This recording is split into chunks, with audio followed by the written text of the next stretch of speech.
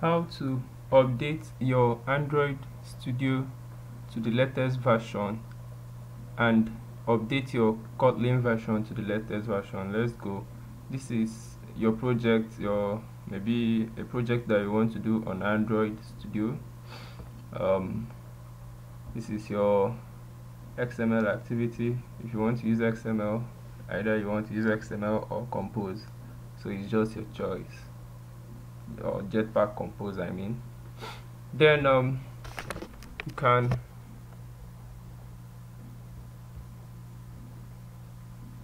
you can update to the latest Android Studio by going to the SDK manager. Then check on updates. Then you click check now. Um the thing about it is you need internet service to do this so you just let it run for some time and allow it to check for updates. If there are updates it will come up. But if there is no update it will still alert you. So let's wait for it as it downloads the update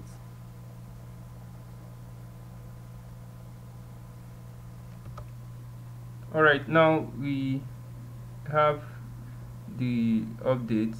So it is telling me to update from Kotlin 2003 1.6 release to 211 1.6.01 release. So I also have Kotlin multi platform for mobile which is KMM um, I don't think I need this so I'll check it out. I'll, I will update it also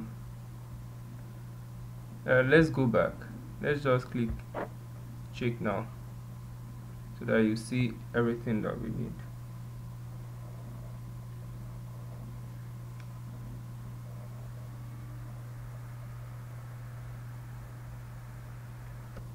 Yeah the latest re um, stable release of Android Studio is now available for download which is Android Studio Bumblebee 2021 1.1 so we go ahead and say update and restart.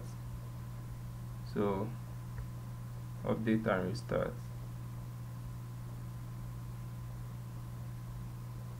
We click ok. So you can see your updates here. You wait for it to download. It will take some time for it to download. So you just wait for it. So your IDE is preparing to be updated um, we've downloaded the plugin updates and then uh, the Android Studio updates. So let's wait for it to finish up download of the Kotlin multi-platform mobile before we proceed. So we are done downloading. Let's now restart.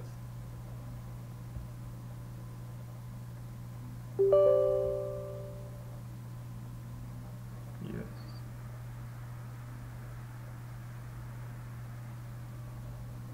So wait for it to extract the patched file and then update the Android Studio.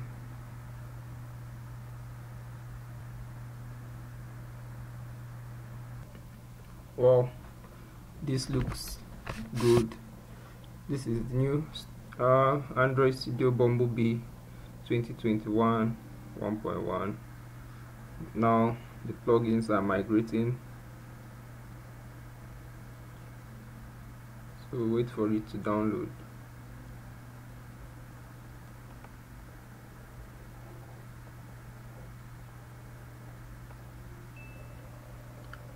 so we wait for the new uh, studio to load up. It will take some time as it is the first build since it was updated. So let's just wait for it. It's already loading. It depends on your system's uh, processing capability. Now it has finished up loading. Or it's just a demo project that I have in here. So it will ask you some questions because some uh like the ADB sometimes in, uh, the firewall interfaces with it. So you have to allow it to have access. So allow access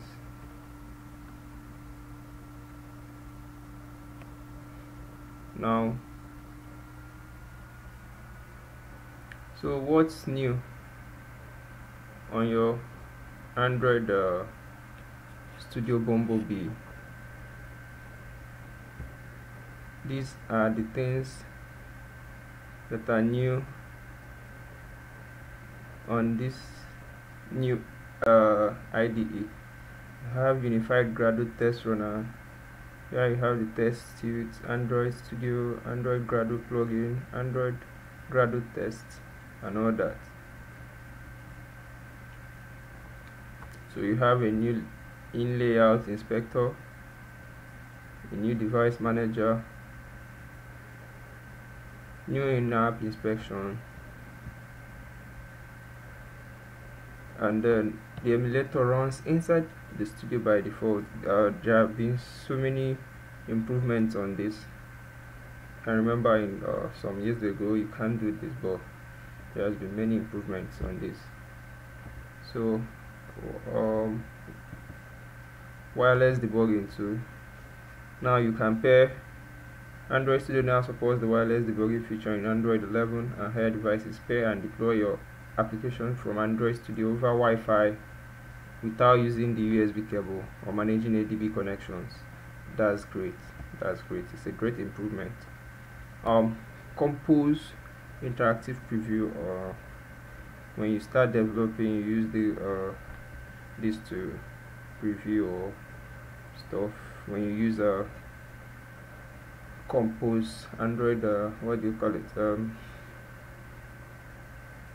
when you use compose so animated vector drawable AVD preview. So the AVD has a better preview. Oh. so this is the latest Android Studio. It was updated on 25th of January 2022 and today is 27th of January 2022 so it is the latest version of Android Studio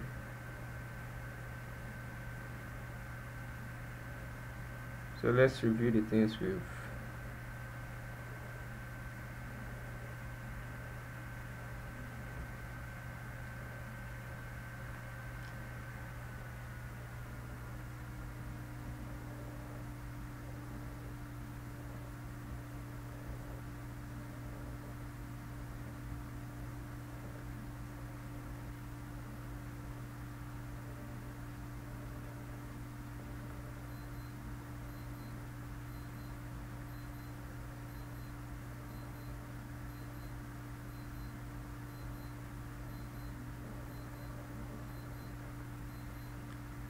so uh, this is it. This is the latest android studio bumblebee and how to update it. Thanks for watching. Subscribe to my channel and don't forget to share this video. Thanks